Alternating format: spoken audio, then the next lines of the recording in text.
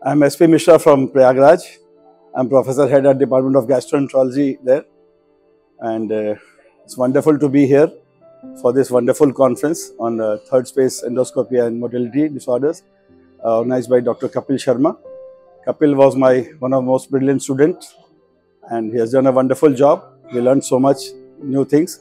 And the best thing is that he's doing wonderful job in third space endoscopy as well as manometry. And uh, I wish him all the best. All the delegates will and the faculty will go back home with uh, enhanced knowledge and something new from here. And the setup is wonderful. The hospital has very good facilities and I wish them all the best. Thank you very much.